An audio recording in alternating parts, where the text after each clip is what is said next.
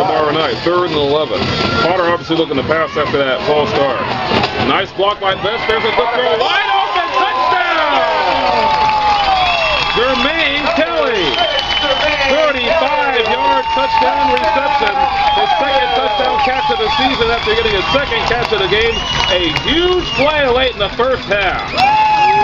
Once again,